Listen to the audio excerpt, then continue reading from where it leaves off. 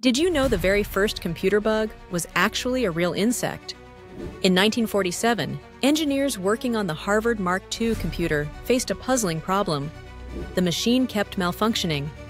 When they opened it up to investigate, they found a moth trapped inside a relay. This tiny insect was literally causing the whole computer to fail. They carefully removed the moth and taped it into the lab logbook with the note First actual case of bug being found.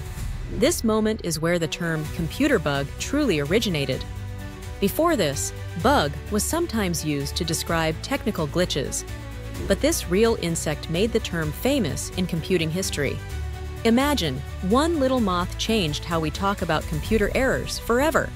So next time your computer acts up, just remember, it could be worse.